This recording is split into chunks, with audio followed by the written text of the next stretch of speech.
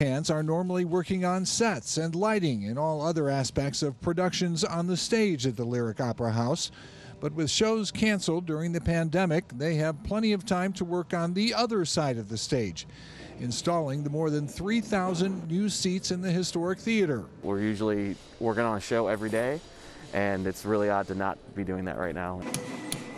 It's a painstaking process. The Lyric is one of a handful of major opera houses in the world, and much of the building is protected with landmark status. And they closely monitor any change in the theater that could impact the acoustics, which allow audiences to hear every note from the singers on stage.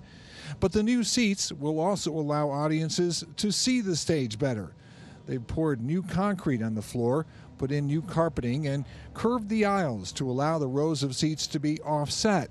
So now you can look between two seats at the stage rather than at the back of the person's head sitting in front of you. We had to tear up all the concrete, extra, put in extra new air vents, um, move a lot of electrical just to make um, the main floor a better seating experience. The new configuration will have nearly 300 fewer seats than before, spread out between the main floor and the three balcony levels.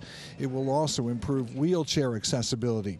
They got input from audience members for months before embarking on the project.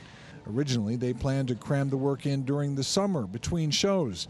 Then COVID 19 hit and they canceled the entire season, which allows them to do the work during what would normally be the fall season. All those decisions, we, you, we want the building to retain that um, historic quality to it. The old seats look pretty similar to the new seats, but the new seats are designed to be a little more comfortable, more durable, and a little roomier.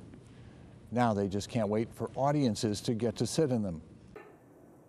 Hey, if you like that video, be sure to subscribe to our ABC7 Chicago YouTube channel.